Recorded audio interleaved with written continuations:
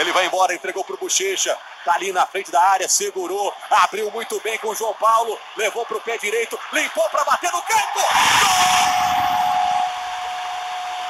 Gol!